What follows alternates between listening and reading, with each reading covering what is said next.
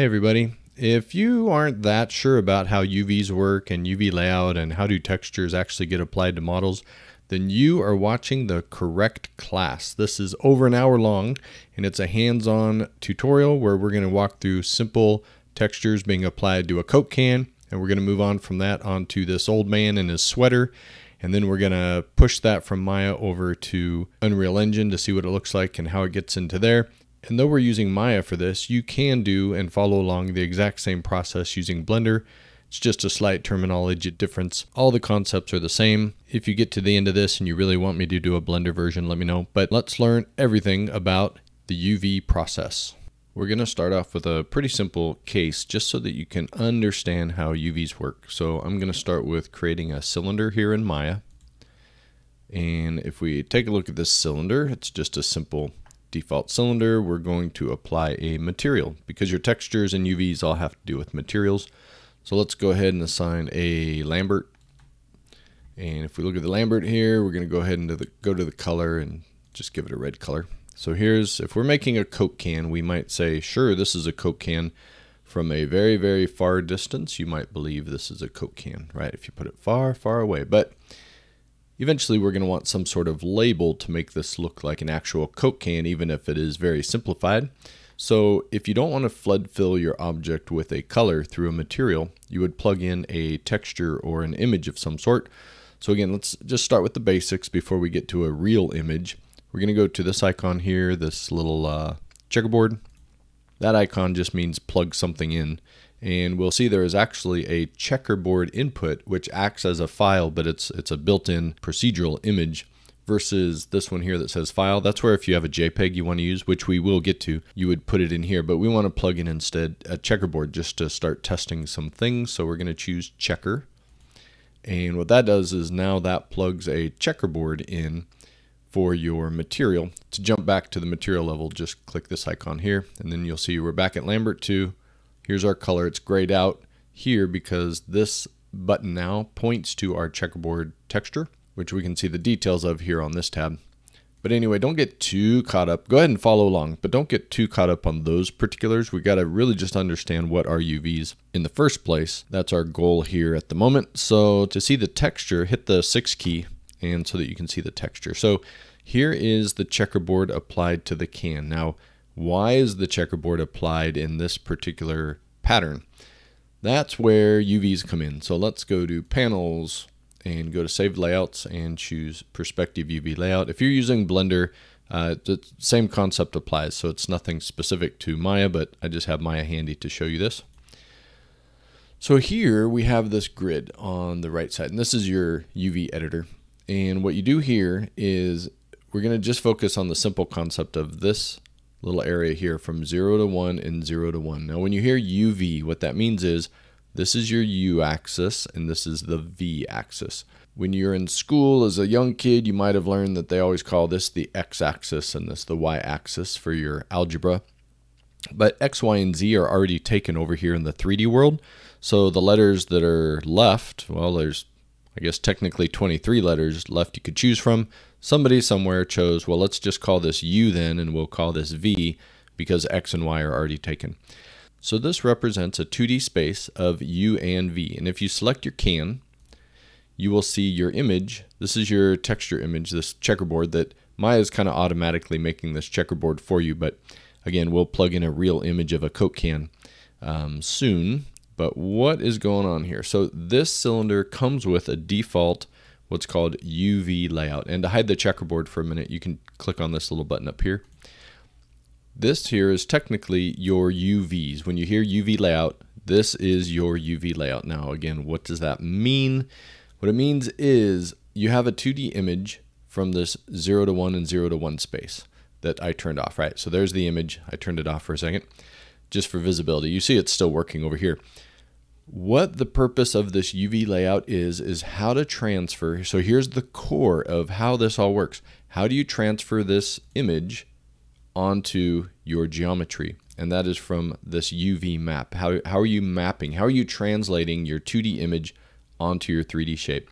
Now a cylinder comes with, you, you kind of have a default starting point. If I right click and choose face just to show you something here and I select face here. Technically, I could select face here or here because these represent the same thing. Let's let's zoom in and take a look at this face here. So this little triangle here, this is the geometry. And this over here, this triangle isn't technically the geometry. This represents, if I turn the image back on, what part of the image that's aligned under this face gets put onto the actual geometry. You have control over where all these different parts of the UV map go on this whole image and that's how you control what part of it gets transferred onto your 3D shape. Let's step out a little bit here. I'm going to right click and I'm going to choose UV shell. You'll work with this quite a bit. And a UV shell is just kind of a bunch of faces that are stuck together is a way to think of it. So if I go into the move tool here and I move this shell around, notice it doesn't affect the geometry at all. The geometry keeps its shape. So what you're not affecting at all is the geometry. What you're affecting is when you have an image, here's our image again, when you have an image and you're changing where this shell lands on the image, it's kind of what's getting cut out of the image and applied onto the surface. And it's technically, if you break it way down, it's based on the individual UV points, which each UV point corresponds to a vertex. So it's it's UV point to vertex, and then you put all those together and you get faces and when you put a bunch of faces and combine them together in a common shell, that's just the term Maya uses. In Blender, it's an island. But when you make a shell of all these faces stick together, they all move together. Hopefully now this is making sense. Watch, if I put the middle of this little wheel, or this, this shell, in that checkerboard, you see the center of the 3D shape has that in the center. Not only is the position important, also your rotation of this shell. So let me hit E and rotate. Notice how as I rotate the shell, it's picking up different parts of the image and transferring it over to the shape. And also scale. Scale is important. As I increase the scale on this shell, notice how it looks like the image over here is shrinking. But what's really happening is I'm capturing more of this 2D image, and that's transferring its information onto the top of the cylinder right? So you can get an idea of, of how that's working. As this gets bigger, it's grabbing more and more space. Now you may wonder, how come you're going out here into nowhere land and it's gray, but you're still seeing image? This zero to one space is being repeated in uh, multiple directions. That's why we see the image repeating on the surface there. But generally you want to keep these within the zero to one boundary. So that is this shell this shell down here represents the underside of the can. And again, these are just default uh, layouts that you get with a generic cylinder. It'll get a little more complex in a little bit when we have our character. But now you'll see move that around and you're getting the different parts of the image transferred over here. And if I grab this piece and move it around, now notice here we have like a long strip of black. It doesn't look like a checkerboard, it looks like long stripes. And the reason for that is what we're looking at is all of these, remember these represent faces. So if I select all these different faces over here, that's all these faces of the cylinder here. And notice the image underneath, all this right here, it's just one black checker from the checkerboard. So all of these faces are going to have the same image stretched across them. So what that means is this shell here is the entire can from one side to the other. So if I want the checkerboard to span across the can, I just need to scale the UV map to cover more of the image. Use the move, move it back here a little bit. And now you can see if I go into object mode, you can see the checkerboard seems a little more compressed on the cylinder now. And that's because I, I changed the scale. Now technically this is kind of a foul. You're not supposed to have overlapping UVs.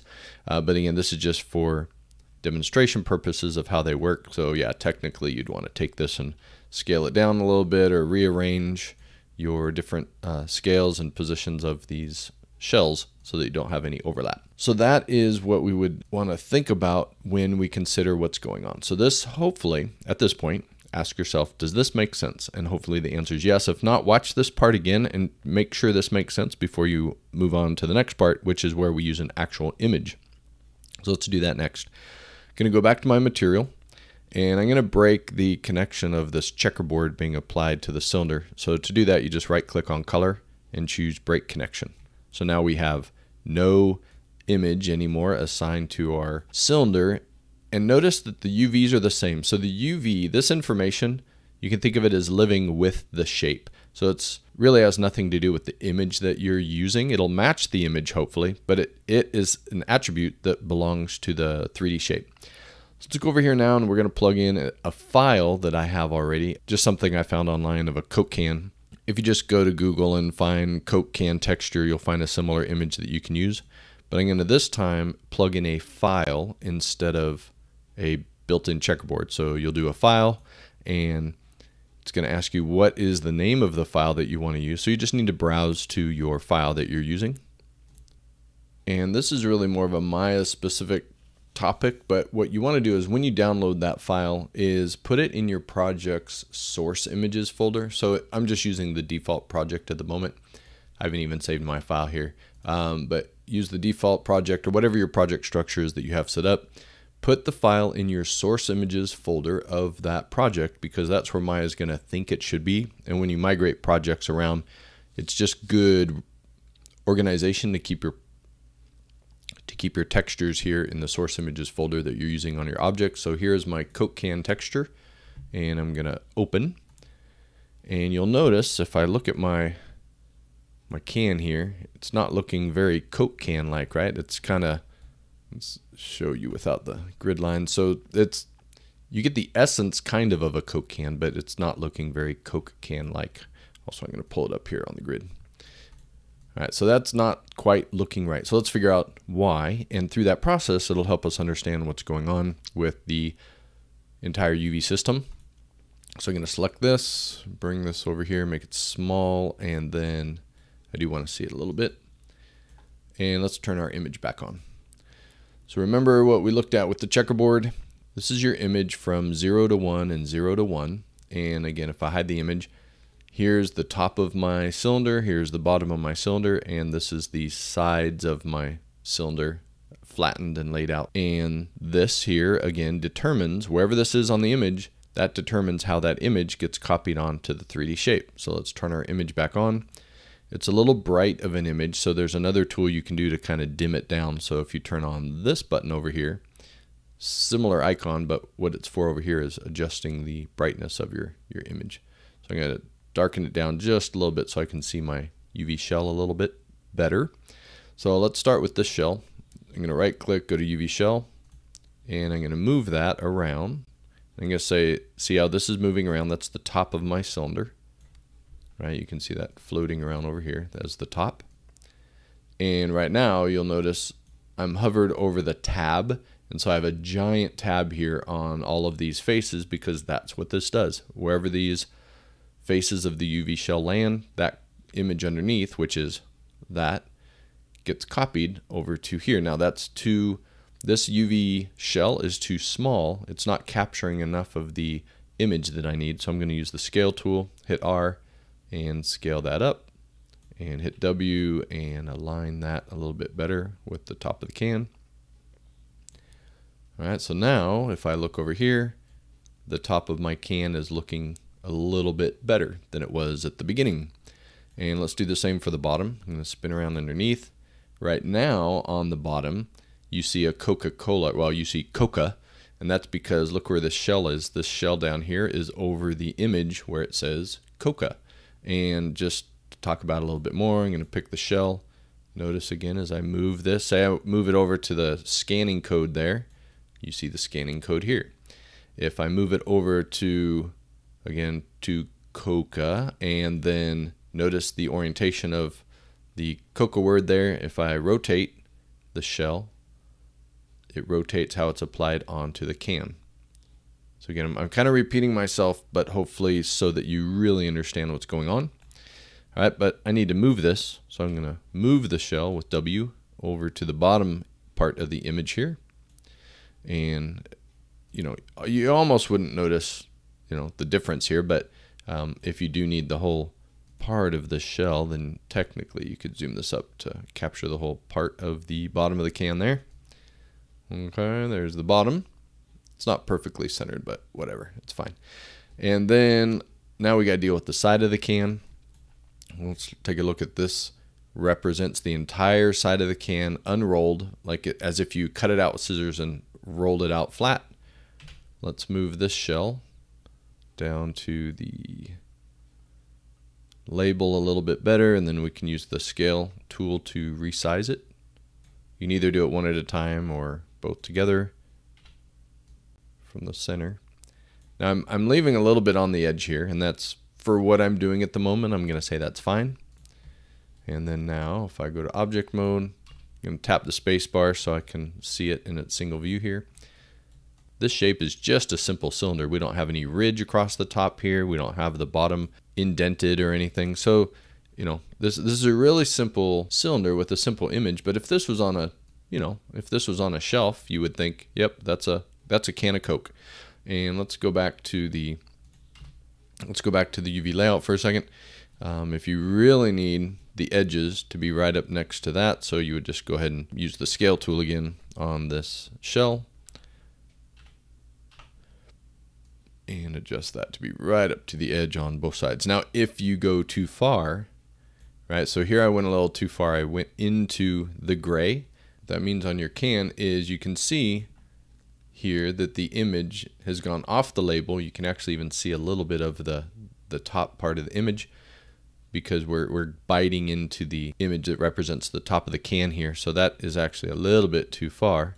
So you, you need to kind of watch your edges there in a case like this. Now, this isn't the only way you would work. You also have the idea of painting your can or in Photoshop using the UVs to do something specific. And all, all, that is doable and there's more advanced ways to do this. But what I really want you to focus on at the moment is understanding how this UV layout, meaning these shells, where these shells are, how they're responsible for transferring the image data from whatever's within this patch here, transferring that data onto the can, the image data onto the can.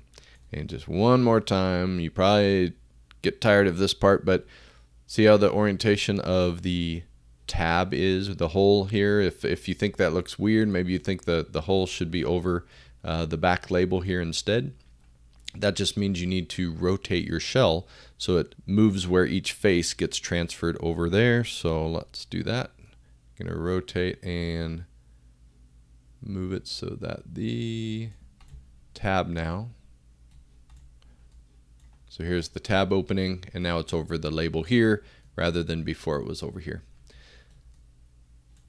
All right so that's the case of using UVs and talking about UV layout for a simple cylinder. If all of this makes sense let's move on to the next thing we're going to talk about, and that is what if you need to add your own UVs? In this case, the can already had its UVs. What if you need to do your own UV layout? And that's where the power comes of knowing how to do this. So we're going to do that next with a character.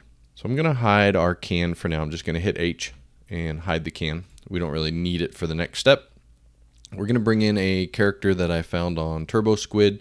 I'll put a link in the description so that you can grab the exact same character, which I highly recommend you do. So once you download and extract that character, it's a RAR file, so you have to use uh, 7-zip or something to unzip it when you follow the link. Um, let me just show you which character it is. It is this character here. So we're going to download this character. So go to TurboSquid, download this character. Thank you, Zarkadikov, for this character. This is old. This is like from 2012 or 2010 or something like that. But Totally works fine for what we need to do. And we're going to be doing the UV layout on this sweater. So let's uh, go ahead and download this. And again, it's going to be a .rar file. And if you don't have any tools for unzipping, you go to 7-zip here.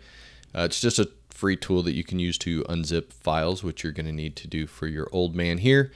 And he's going to be an OBJ file. So for an OBJ file, what you need to do for OBJ is you're going to go to File, Import, and you're going to browse to the path of where you put your OBJ file. And go ahead and import. And he's much bigger than the can. So look at this fella. He's he's a big fella. And scale wise, we, it's, we don't really care about that stuff right now. All right, so go ahead and grab this guy. And we're actually just going to do all our exercises today with the sweater in particular. So we can go ahead and hide the rest of him so that we can just focus on the sweater. So you can just go up to display, hide and then hide unselected objects so that we only see the sweater floating in space. And then you can frame on that. All right, so this is the object that we're going to use to get a much better understanding on how UVs work and also how you customize your own UV layout and make adjustments so that once you have this knowledge, you can model in UV and texture anything. So step one, just like the can, let's go ahead and assign a material. So I'm going to assign, I'll just assign a Lambert. And over here for a color, let's just start by giving it a default color. So we have a, this way we know the material is working. So we have a sweater that is blue. Let's go ahead and start off with just assigning a simple checkerboard so that we can test and see how our UVs are lining up and stretching and anything of that sort. So go to your Lambert, same thing, you're going to click on the uh, input here and grab a checker input. Now this time, if you hit 6 to show the texture, hmm, nothing's happening. And if you select your sweater, it shows that there's an image here, but we don't see any of the UV layout yet. So if I hide the checkerboard there, you'll see where, where's those little patches. When we had the cylinder, the cylinder, just Maya had already torn apart, if you want to think of it, uh, the can for us and laid out the top, the bottom, and then the, the label here, or the, the sides of the can, which we aligned with the label. But the sweater here has nothing at all uh, to start with. So Another thing I want to do before we get a little bit farther here is you'll see that there is a checkerboard image here. Now this is getting a little on the advanced side, but nothing too crazy. Um, I want these to be smaller. I want this to be a much finer checkerboard. So you can adjust that because this is a procedural image. It's not a real image. It's not like a JPEG. Maya is making this checkerboard for you. So I'm going to go into the checkerboard by clicking on the input here. And when you get to here, you can jump over to this tab that says place 2D, what's it say? Place 2D texture 3. And you'll see there is a repeat UVs. So it's set to 4x4. So like this is one unit and it's being repeated four times in each direction. So what I'm going to do is I'm going to come here and I'm just going to make it 20 by 20 just to really densify that uh, checkerboard because that'll help us see some things when we apply it here a little bit better. But back to the idea of, let's go back here. Let's go back here. So here's our material. It's technically being applied to our sweater, but we don't see any of the checkerboard on our sweater. Why not? Because I know I'm in texture mode. I hit the 6 key. The sweater has not had any UV layout done at all yet, whereas the can had a default. This has nothing. So you do have tools to do some default layout. So let's go and just test the uh, first highly likely to fail option, but just so you can see that it's here, sometimes it works if you have like just a cube, but this is not a cube. Go to UV and go to automatic. That sounds great, right? So hit automatic and you'll see it laid out. Move this over a little bit. It laid out the cloth, it tore apart the sweater. What it does is kind of like a 3D scan of it to analyze it and figure out where to put the islands together. Let me hide the texture for a second. So this is how Maya decided the sweater should be torn apart and laid out flat to get the best image placement. Now, if you look at the sweater though, that's not the best representation of the 3D grid on the surface. You have some huge stretches here and weird little patches and weird little cuts. You have a cut and seam all over, like there's a tiny little, tiny little checkerboard there, but then a giant one here. So think of the idea. What we're trying to do here is we're trying to, our end goal is, all right, let's talk about the end goal. What's the end goal? The end goal is to lay out this sweater on UV space to do a UV layout so that if this patch here was fabric, then you would cut out pieces of the fabric and put them together in a way that makes sense when you put it on the 3D model. So we have a little bit of work to do because this did not work. Not not very well. So let's let's look at the other options we have. So if we look at what the automatic mapping did, you know, you see something like this and you think maybe that looks okay, but it's actually not that okay because we had some seams showing up here, showing up here in the middle of your shirt. If you have a shirt, you don't want a bunch of patches and seams all over the place.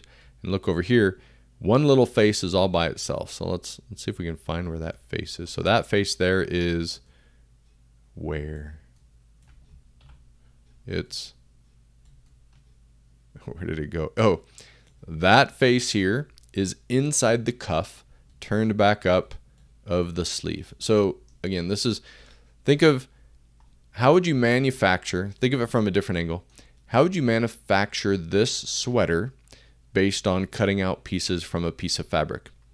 Let's actually take a second and learn from the sewing industry this is what you would do. In this case, this says it's for a t-shirt, long sleeve, something, something. When you have a pattern for a shirt, and again, this is we're talking about a shirt, a sweater, but this applies to everything to do with UVs. Again, if you understand this for the simple sweater example, it applies to everything for the UV case. But this is the idea of you're laying out something flat and cutting it out of a pattern, and then you're reassembling it back to make a 3D shape. Again, let's find another case. So here's an image here. Sorry, it's probably going to be kind of small, but you can just search yourself sewing pattern, long sleeve shirt or something, and you'll get some images that show the idea of if you have a piece of fabric, you cut them out, cut out the pieces in a certain way, then you sew them together, and then you'll end up with your final shape in quote 3D space.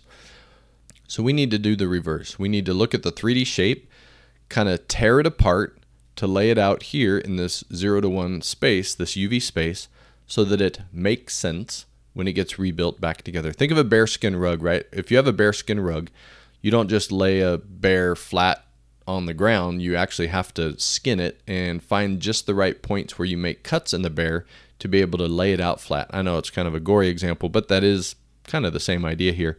We need to find where where do we take apart this 3D sweater. Now you're not messing with the shape, you're just dealing with the transfer of the 2D UV space. All right, I'm going to stop talking. We're going to keep going because hopefully it'll make more sense as we move along.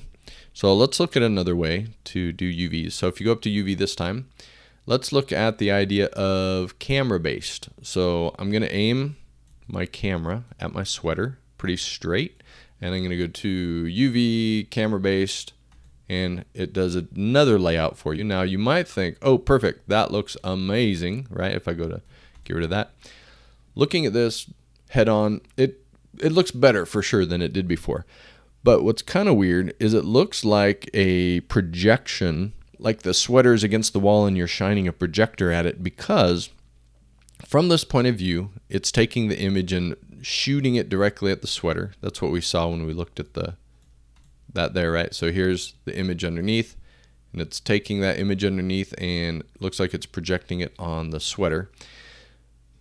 But the problem is, if we start turning the sweater, you'll see you got some weird stretching going on there, across the back, across the arm. There's some weird stuff going on that does not look like a checkerboard. So what's the what's going on here? And the reason it doesn't doesn't work is again, remember what's happening. Face by face is being analyzed, actually vertex by vertex, but we'll call it face by face is being analyzed and whatever image is underneath it is getting transferred to the 3D shape. So if we come over here, for example, let's select this face. All right, so I picked that random face there. On the 2D map, that is this face here. So this face here is picking up a little bit of white and a little bit of black and copying that data over to that face there. And you know, that, that looks fine. That it's fine because it's it's flat to it. But let's look at this face, for example, over here. This face here, it's if I look at it, you know, it it is kind of square shaped, the face itself, right? But if we look at the matching, if we select it and then find it over here on the UV map, actually that one's not horrible. Let me find a more horrible one. This one here, this face here, on the geometry is again kind of proportional. It's you, you would call that a square. But over here it's just a really thin sliver. And using this particular image, it's kind of hard to tell why this is a problem, but we're only getting a tiny sliver of information off of this little face on the UV side that's getting transferred over here. And that's why this set of faces from you know from here to here, all of these faces collectively, they're only covering one white square, which is why you have this white stretch going all the way across there because these four faces are represented here on the UV layout as these four faces. And, and again, it's being constrained mostly to one little square. Whereas over here, you have one, two, three, four faces, and it's covering at least three grids. So again, back to the idea of shirt manufacturing. This, if you had a checkerboard piece of fabric, this is not, this is not looking like it's working. So that's the, the main point is that doesn't work either. So you can't just do a camera projection in this situation. There are times when you can, if you're doing little pieces and you know that's going to work, you could do it. But for what we're doing right now, this is not working either. However, it does give us kind of a starting point of, you know, visually this looks better than what it did before. So now comes the real work of the layout. So I'm going to get rid of that. So we got to strategize here. If we had this shirt, maybe you're wearing a shirt, well, hopefully you're wearing a shirt now. If you're wearing a shirt and you look at your sleeves, you'll notice that there is a seam in the fabric, right? Because that's how you put a, a sleeve together is you got to sew the sleeve on. So let's, I'm going to come over here. I'm going to hit five to get rid of the image off of this sweater for a second. Let's come in here and what we need to do. So the big philosophy here is we need to cut apart the geometry, not physically, not in the actual 3D realm, but we need to identify areas where we want to create more than one shell. Right now, this is one shell. Right? This is one giant shell that we move around like we did with the Coke can. But we need it in different pieces, just like we had different pieces here. And it's up to you to decide where you want to make those cuts. So what we're going to do is come over here on the 3D side. You know, we're going to kind of look at it. Now you're you're kind of stuck with the geometry you have. If the geometry is not perfect, then that's as good as you're going to get. So, you know, this, this one's fine for our example, but if I go into edge mode and double click this edge, right, so that made a selection. When you double click in Maya, um, it'll select an edge loop for you, and there's an edge loop. This could work, and it's not terrible place to have a seam, but if you look at your own shirt, it's probably a little bit low. So what I'm going to do, this is kind of a little lesson in selecting for you as well because it's not always something that's right on the edge loop. So here, I want to pick this loop instead. So I'm going to double click and you'll notice it stops. I just get these two selected because when you hit a fork in the road, the edge loop tool selection doesn't know do you want to go this way or do you want to go that way. So you have to help it. So I'm going to hold shift and double click this edge and then that continues the selection till it gets to here then hold shift double click and then one more time to finish the loop underneath here, shift, double click. Now you'll see that you have a hand selected loop that goes all the way around. All right, and you can see it matches over here on the UV space as well. So this set of edges represents the UVs, uh, this set of edges. And all you need to do, and you're going to do this a lot, is you're going to go to the cut and sew tool, and you're going to do a cut. And if I deselect for a second, you'll see you have a, a pretty heavy white line here. And you have a heavy white line here. What that means is you have now cut in UV space, not the geometry. This is still one giant, you know, this is one, still one object. But you see here, we now have a solid line here, and it's kind of hard to see, but there's a little bit of a more solid line here. What that means is you have now created two different shells. So here's a shell for the arm. Make this guy small. All right, so I've cut the arm off and separated it from the sweater. Now, what what's that mean on the texture? It means what you probably like the Coke can again. As I move this shell around the image, as I move this around the image, different parts of the image are being picked up and dropped on top of the uh, the 3D shape.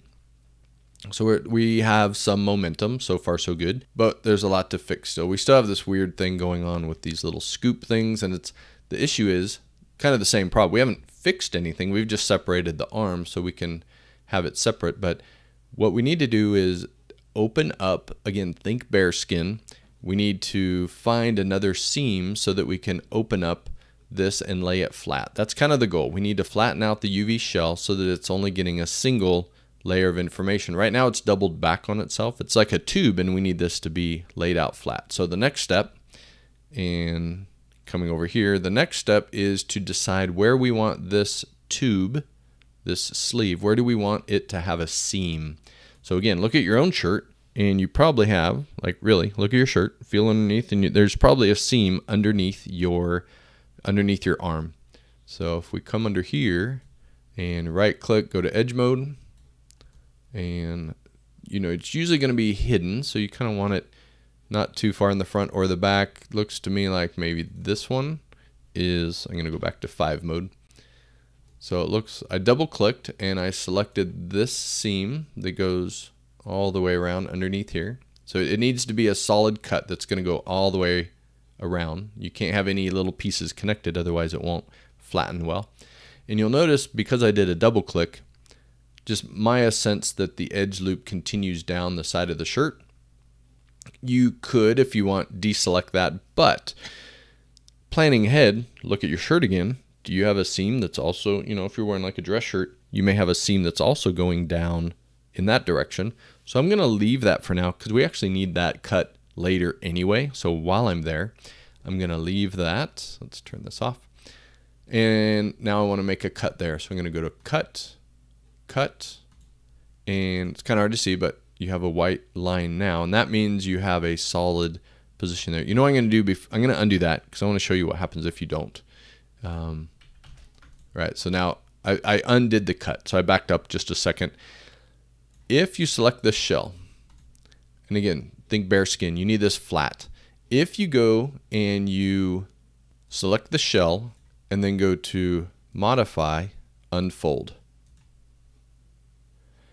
now, this looks kind of weird, doesn't it? And it's also going to do a crazy thing when it comes to assigning the texture onto the shirt. Right, so you got some weird, even more weird stuff going on.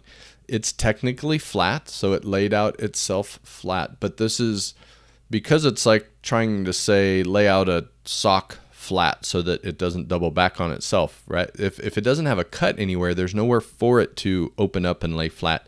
So that's why we need to put that seam into that part of the shell. So I'm going to right click, go back to shell, and it's easier to pick from here again. So I'm going to right click, go to edge mode, and find that seam I want again, double click. Is that the same one? I mean, it, you just kind of want it hidden if you can. Maybe I'll go one more this way. The geometry is kind of funky here, um, but that's what we have. It's fine. So we'll say this is the seam. You can see it's running along here and down the edge of the shirt. And I'm going to go to cut and sew. And before I do it, notice that represents from way, like this is the, um, this is the inside of the sleeve. As you see, I'm moving my mouse around here. It's selecting, notice how it's, where is it, uh, edges. So see how it's on the inside of the, the sleeve there. And then way out here, this represents the shoulder. And you can see it's also matching the selection down here. As notice as I hover over one, it's showing you what's the matching edge that it came from over there. So we need to we need to make a cut here. So I'm going to go to cut and sew, cut, and it added a cut there and click away so you can see the cut. But now once we've done that, we need to kind of refresh and unfold this. So go to modify, unfold. Now this is looking a lot more like what we had here. Here's a sleeve, right? If you just look at this, you wouldn't say, oh, that's a sleeve, right? You know, you would look at this and you'd say maybe that's the front or back of a shirt, but you wouldn't look at this and say it's a sleeve. But that's because it's been cut and flattened out. And that's what we did here. We've made a cut in the edge. So we've cut it. That represents, let's see, let me show you here. If I go to edge and as I hover my mouse over the set of edges. Notice how it's matching the edges over on the 3D side. And notice how it matches an edge across from itself over here because that technically is the same edge. In 3D space, this edge over here and this edge over here are the same matching edge as this one over here, right? Again, these are kind of foundational concepts. Hopefully they're you know some good aha moments for you but again just just think of really tearing a, a shirt apart and seeing what you would get with that now what we can do is let's analyze this now kind of like the coke can so we'll turn the image back on and let's look at the sleeve now If we look at the sleeve, it's looking a lot more uniform. We have an even, if you look at all the checkerboards around here, right? I mean, there's some, when you hit a seam, you're definitely going to have some, you know, that's what a seam does. If you look at the seam of your shirt, you're not going to have the perfect matching of the pattern across the seam. And that's why you kind of hide seams so you don't see, um, you know, things that look weird like this. But if you're looking on the top of the shirt, it's not looking so bad. Let's say you want to align this. Maybe you want the checkerboard to run a lot more even down the arm. So what that means, we know how to do that. You would go to your shell and you'd use the rotate tool and you would rotate the shell until you get the alignment of the UVs. I'm, I'm looking over here while I'm adjusting over here. You know, you, you have control over this. Now, I won't go into a lot more detail than this, but you also have you, you can change the shape. You're not stuck with this UV layout here. You can go in and change individual UV points. Like for example, I'm just going to make a mess in the middle. I'm going to right click and choose UVs. Don't choose vertex. If you choose vertex, that if you're on an edge, that can choose the same vertex on another area. So when you're when you're over here, even though it gives you the option of vertex, almost always when you're modifying things, you want to choose UV. So let's say I select all these UVs here. Again, this is just going to make a mess, but so you can see the difference. What this means is you can change individual UV points. I'm just going to do a rotate. Notice how it's like I'm bunching up the fabric because what I'm doing is for these faces only, because I grabbed those UVs, it's changing the alignment of the image that it's capturing. But the but the rest of the UVs on the rest of the arm are not being affected. So that's why it's changing there. So what, what that means is you know, say underneath on the seam, if you wanted to adjust the pattern just a little bit, you could go find those particular UVs and move them. Right, so see as I'm moving, I'm making a mess, but notice how as I'm moving those UVs, it's changing what part of the image is getting applied to the geometry. So you, you have control at that level. If you ever need that much detail, you can go in there and make fine adjustments. All right, but we're going to say for now, um, that this is fine. Now, we're going to keep going on the sweater. But what we've done so far is the foundational knowledge that you need to really do most of your UV layouts. You need to understand how to cut and also, well, you do need to know how to sew in case you mis make a mistake, but we'll get to that eventually as we go through the, I'll make some mistakes so that you can see how you would sew things back together. If you make a cut somewhere and you wish you didn't, uh, how you could fix that. So let's continue with our sweater here. I'm going to go over to the other side. I'm going to hit 5 to turn off that, and I'll turn this off. And let's do the same thing over here. Edge mode, double click select, shift double click, shift double click, and on the back, shift double click. So again, just making a solid edge loop all the way around the sleeve there, doing the same thing. And I know already that I am going to want another cut underneath the arm, so I'm going to hold shift and also double click there. So I've, I'm setting up for multiple cuts at one time. I'm going to cut the sleeve off and I'm also going to make that cut and down the side of the shirt at the same time. So with all those selected, you can see them selected over here. I'm going to go to cut and cut. Now I have cuts there. So I can go to this shell, pull it away just to see a little bit better. I've already cut underneath, so I can go to modify unfold and I get the same thing as the other side. And if I want, I can, you know, rotate. I'm just doing this rough alignment at the moment. Move them out of the way here. Move them up to the corners. Now, it really depends on what image you're using. Will depend, do you want it this way or do you want it this way? You know, what your pattern is. And we'll use an actual image like we did with the Coke can in a minute. But let's just make sure our UV layout is taken apart. If Oftentimes you'll work with a checkerboard for a while because if it works with a checkerboard, then it's going to work with uh, the other parts. So the sleeves are taken care of. Now let's get over here and uh, let's take off this turtleneck. So for the turtleneck, you're going to have to get way in here and go into edge mode. Double click the farther inner crease there. Double click. That makes an edge loop all the way around. You see this loop selected cut and sew, cut, and that makes yet another shell. And for this shell, same thing. It is a tube. It's like the sleeve. You can't unfold this yet. I mean, you can try, right? So if you do unfold, that's not, it's like a weird smashing of a sock again. You're not going to get a very clear, it won't look bad initially.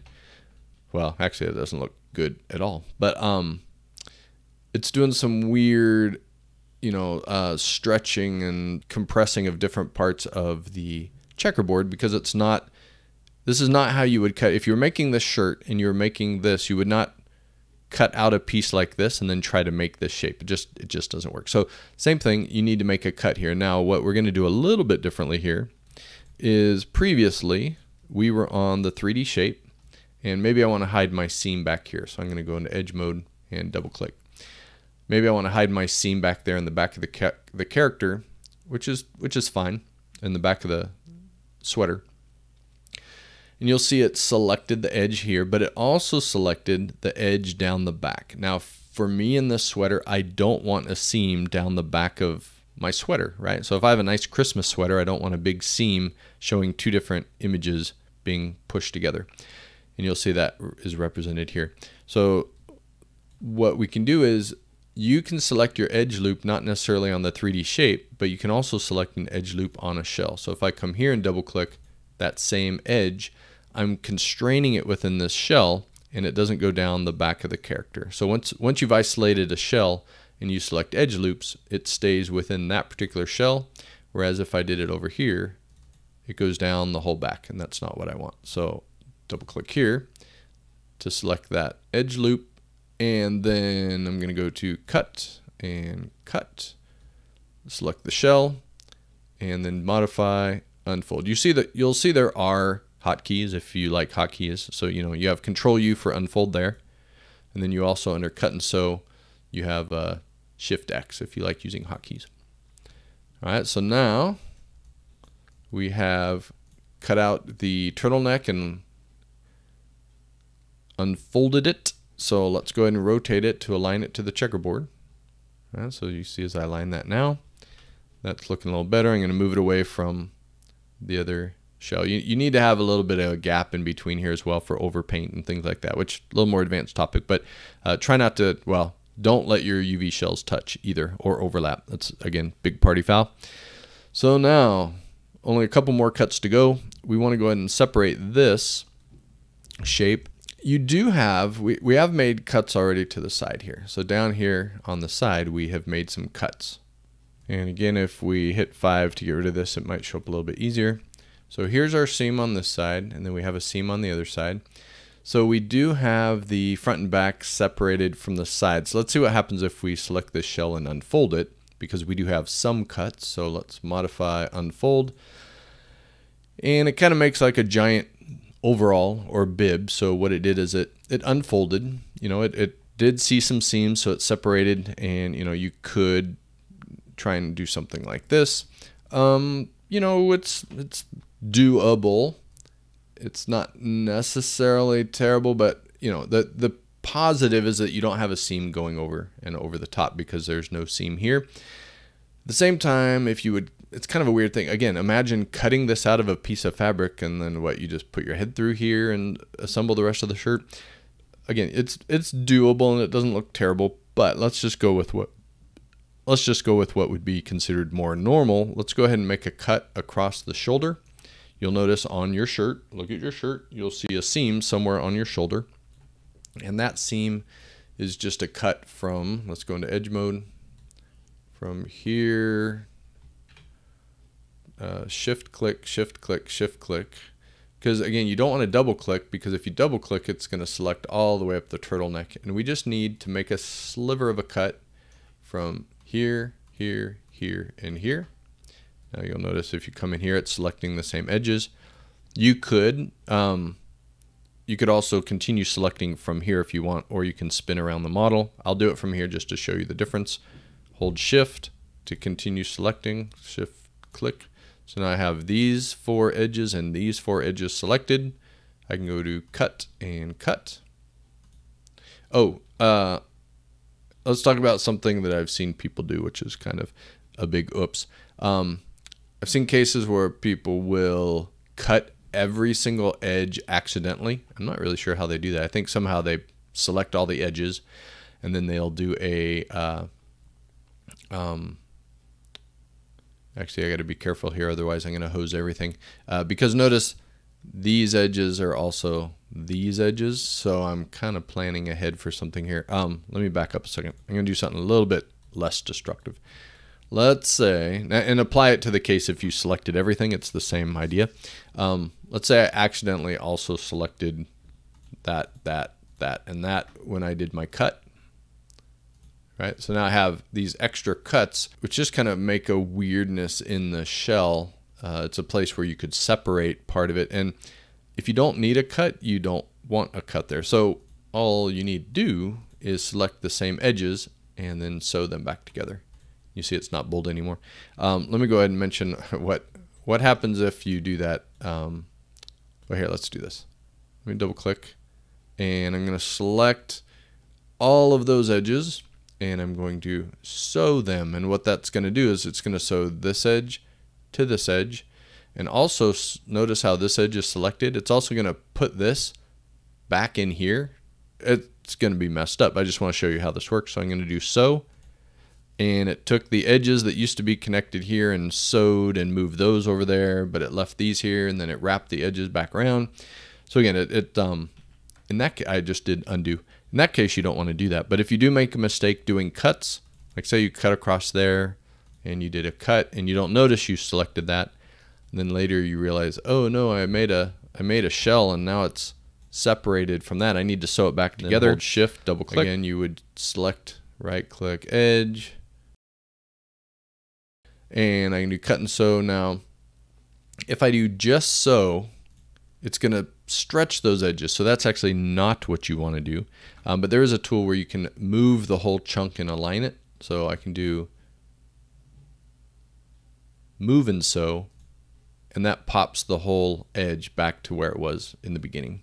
All right, so now back to the idea let's go back to before I did that.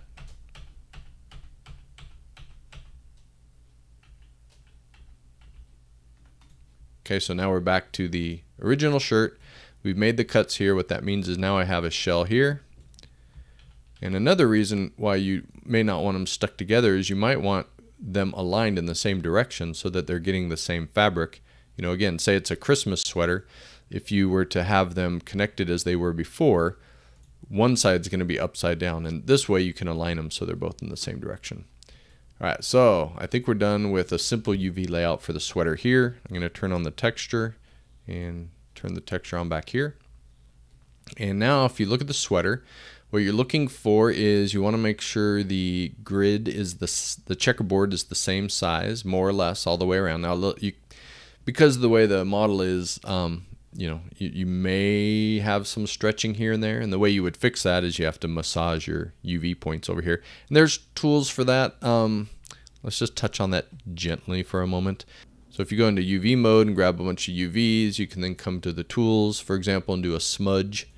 And this lets you, um, with a brush, you hold B and drag to increase your brush size. So I'm just kind of, notice I'm moving the points around, which allows me to modify how they get copied over here. That's that's a little bit more on the advanced side and for really making super fine details. But just know that you do have tools to control how every single UV gets aligned here uh, on the UV layout. That is kind of part of the job as well, but it just gets a little more detailed for uh, when we're just trying to learn the basics. But it does help you know that technically every little UV can be changed in its position to modify how it gets applied to your 3D shape.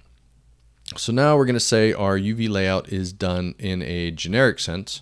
So we have a decent layout, decent meaning the scale of all these checkers getting applied over here is okay and I don't see any big stretching or there's no red flags anywhere. And again, talking about seams, the reason these don't line up here is because these here, this has a little bow and it goes into black there and this goes into black there. So you get a little overlap, but the, the offset here is because you know where this one ends is a little different than this one. So again, if you really needed to modify this, you would, if you wanted a perfectly straight line here on the seam, you would need to go in here and select these UV points and line them up vertically.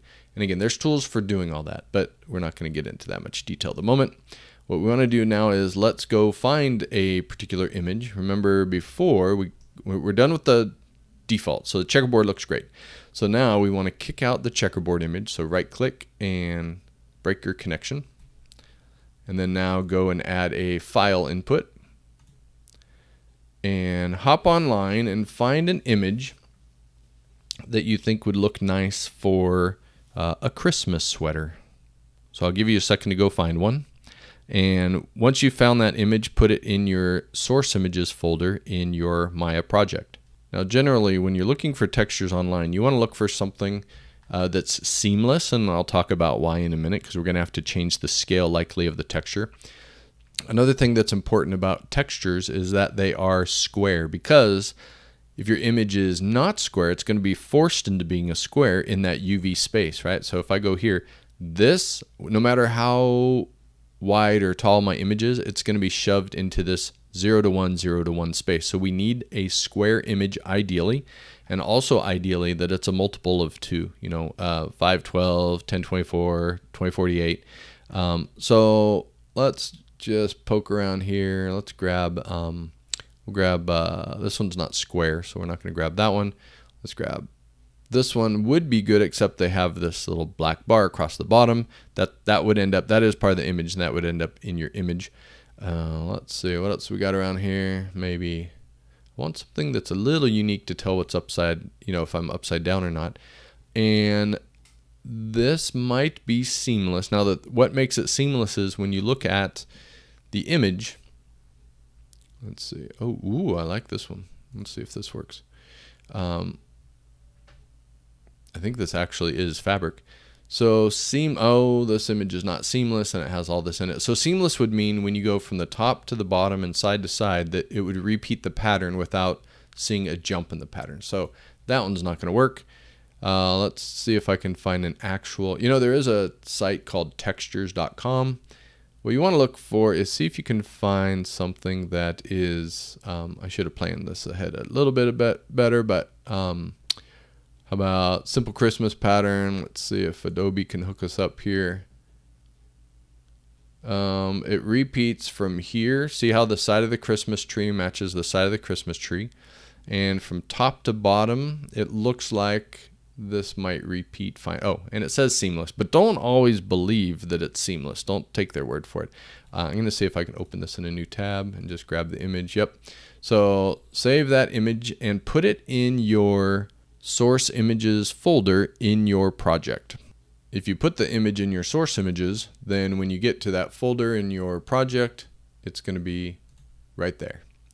And assign that to your character there. Now, it's a pretty low res texture, and besides it being low res, it's also huge, meaning we're making an entire sweater out of this single square of image, which kind of makes it a little weird, right? Like it's got huge Christmas trees. Now it is nice though. Look at the alignment of everything. It, it aligns fine. Everything is vertical. If I if it was upside down, I could either go into Photoshop and mess with the image or adjust my. Uh, oops, I have a weird tool active here still. Um, let's jump over here, and you know if I spin this around, you see the image goes upside down. So we, we've kind of covered that.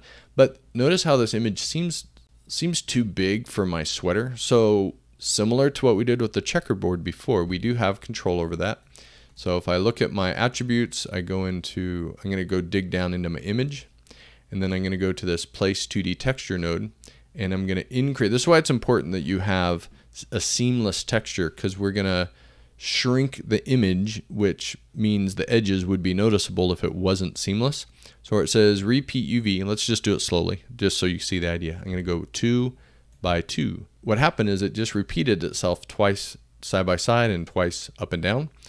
And my image is starting to look a little bit better. Let's say it's kind of a woven thing, so maybe I need it to be double that. So I'll say make it four by four.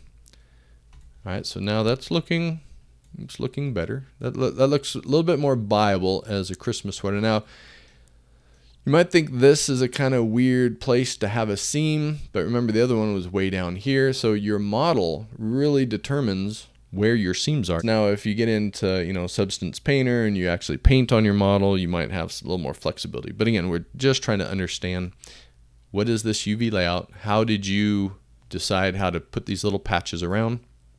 And then what is uh, the importance of the orientation? Actually, this is a good point too. The hearts are up there and the hearts are up there. If you wanted the pattern to go not linear like this, if you wanted to go all the hearts to go this way, we know what to do.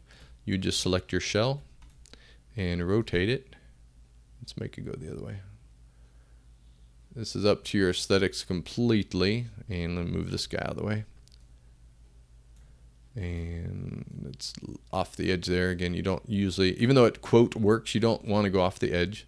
So, you know, it's up to you to kind of rearrange this. And if you want the Christmas trees to go right in the middle of the turtleneck, then move that little patch so that if you want a hearts, move it so it's hearts. You know, so again, you have control over where the image gets sourced from where you put your UV islands and your UVs in general. All right, so let's go to object mode, take a look. And I don't know which way I like it better. Oh, the trees are upside down there. You got to make a decision, right? Otherwise, you would put a seam on the top and make the trees go the other way. You know, as it's going to wrap underneath, the trees are going to be upside down somewhere. So it's up to you. If you like that better, then let's go ahead and do the same thing to this one. Select the shell, rotate it. I'm just quick eyeballing there to see what the alignment is. Space bar to go big. You know, maybe maybe I think that's, you know, that's fine. That's good enough. All right, so our UVs are laid out. And we'll say that is amazing. Now, if you wanted to, you could. Remember, there's still the rest of an old man to do here. So if you go back and look at your uh, show all, we have the rest of the old man to do, but let's just focus on the sweater. There's some issues with, uh, you know, how you're going to do, you know, how are you're going to do that, where are you're going to put your seams. And um, mesh-wise, this is probably not what a normal head would look like. This is more like a post sculpting versus an optimized polygon head. But anyway, um, and then same with the shoes. But the idea is the same. You would come in here if you wanted to customize your shoes. Uh, it's going to get a little trickier because uh, you can't necessarily go to edge mode and just double click to uh, take off you know the the sole of the shoe you're going to have to come in here and do that uh, shift click or or you know there's some other selection tools you know there's you know box select and things of that sort but uh, again you would take it apart and lay it out gently. But let's just keep focused on the sweater. We'll call that an intermediate class if anybody ever wants me to do one on uh, how would you do the shoes. But I would do the exact same thing. It's just going to be a lot more work actually, but the concept's totally the same.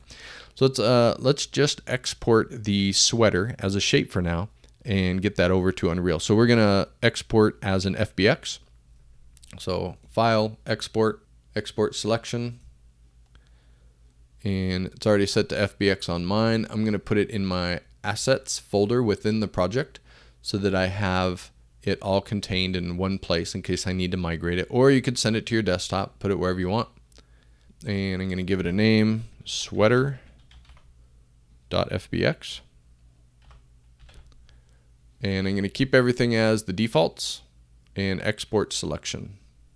All right, save your scene so you can come back here. But for now, that finishes the Maya aspect and that'll get us set up so that we can see how it looks over in Unreal. So go ahead and pop open Unreal now and let's import our sweater.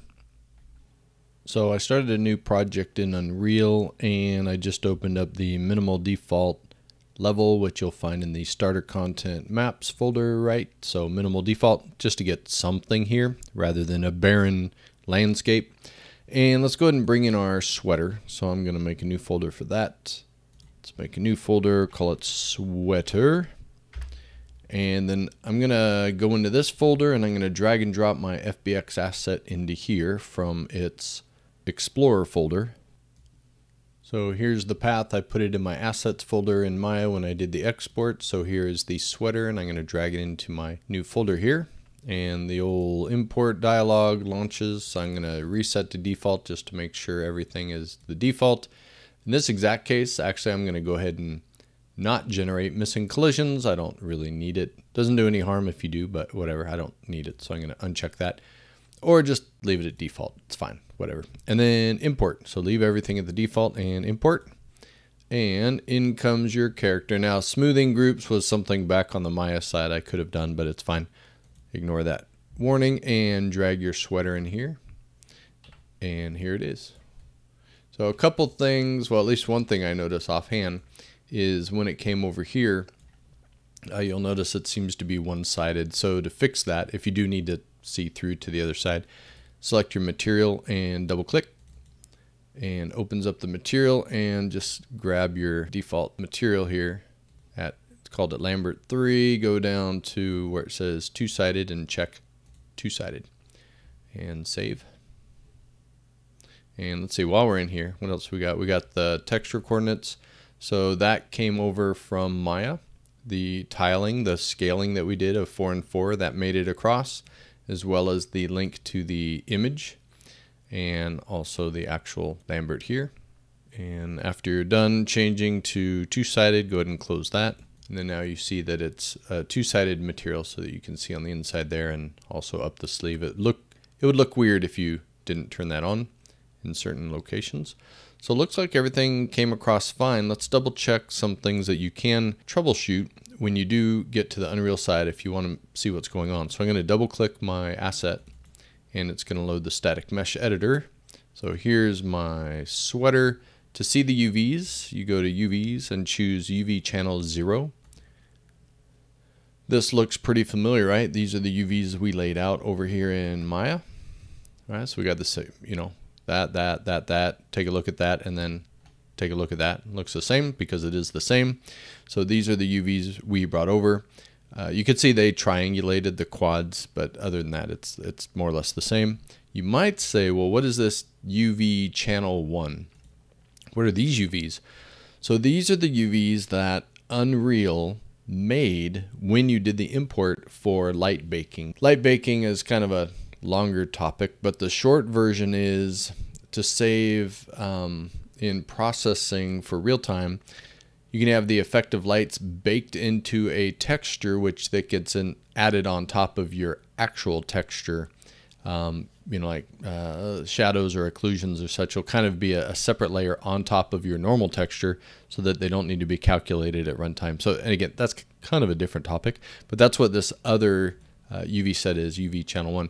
Now, you don't have to have this made. There was an option when you import your asset that you can tell it not to make the UVs. Uh, let's see if we can fake that out again. I'm going to delete these real quick just to show you where that is.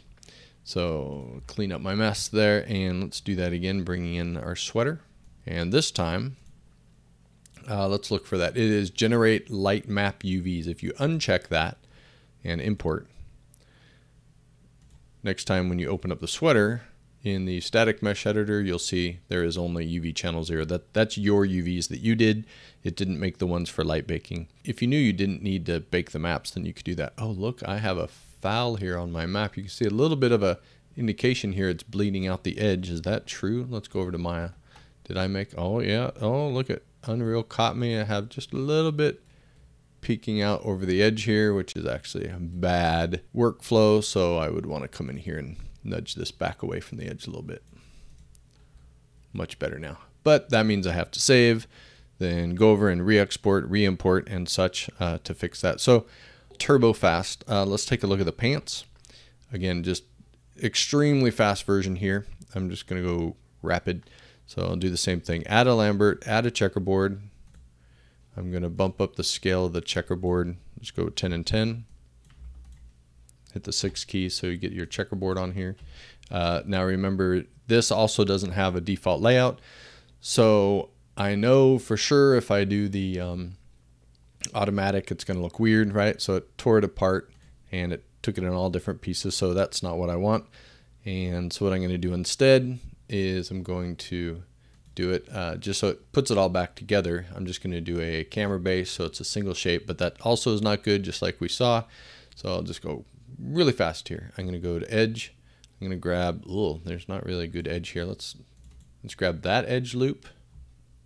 Turn off texture. So there's a loop there. Uh, inside, let's go and grab this edge loop. Shift, double click.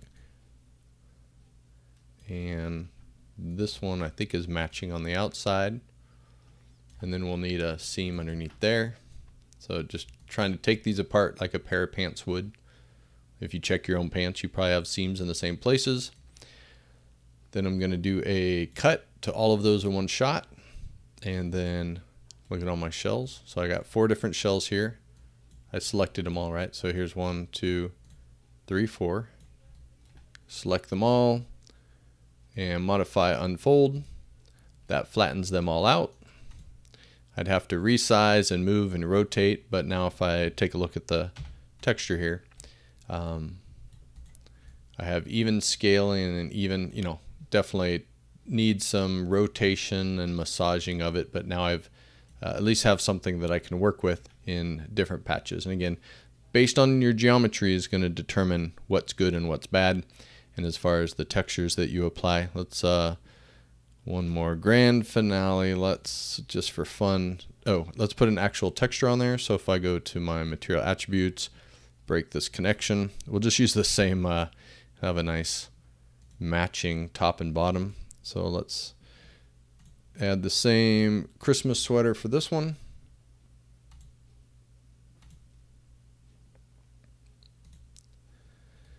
All right, so he's got some, you know, Christmas trees lined up there. We have the same issue we saw before, the texture 2D. I would need to increase the, whoops, the repeat on that. I forget, 4 and 4, I think.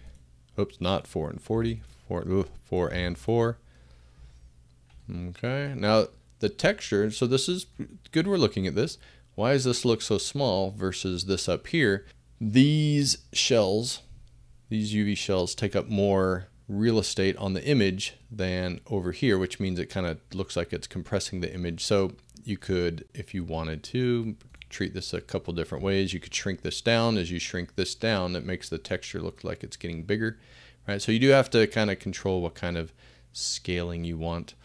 And if you wanted this, you know, if I'm looking at the uh, the waistline there and I rotate this, say I want to make the waistline line up, right? So it's looking a little better through here. It's starting to wrap weird when it gets down here, and that just means you got to take all these UVs, right? So let's let's do this really quick, um, and a bad way. But notice if I rotate those, see how that straightens up the Christmas trees there. If I undo that, notice how they went crooked, but as I take just that section and straighten them, they kind of align better, and then you'd have to, you know, again, there's tools that will do this better for you. You know, some of the smudge and move and to, you know, there's just different tools that help you work with your UVs better. There's like relaxing and multiple unfolds, and you can reproject if you want. Again, lots of specifics to get into, but as long as you understand the basics of you have control over what you're copying from this image over here, you'll at least know enough to, to get the gist of how this all works. And then you would output this and you'd bring it over to Unreal and then you would have your character in Unreal with all the uh, UV glory. All right, that was a lot of information for you, but I hope that gives you a basis of understanding for how UVs are created, how you can make your own simply, and how you can then see what those look like over in Unreal. Now, technically, there is a modeling mode in Unreal that does have a section on UVs, but you know until this gets further refined and developed, uh, in most cases in the real world, this is as of 5.3, uh, most of your content that you import your assets are going to be from outside the package, and somebody is going to have already done the UV layout for you in either Maya or Blender or whatever else.